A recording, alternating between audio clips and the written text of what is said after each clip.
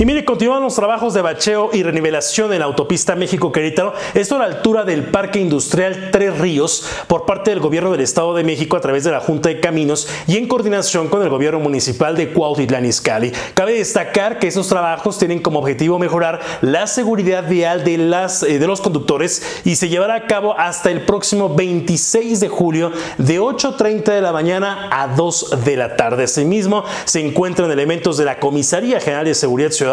en la zona para agilizar el flujo vial y salvaguardar la integridad de los automovilistas. Se exhorta a la población a manejar con mucho cuidado, respetar las indicaciones del personal de tránsito municipal para que por supuesto estas actividades de renivelación y por supuesto de bacheo sean benéficas para quienes transitan todos los días en esta arteria La México-Querétaro a la altura de Cuautitlán Izcalli.